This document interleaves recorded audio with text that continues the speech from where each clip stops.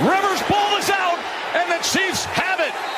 Derrick Nnadi right into his lap.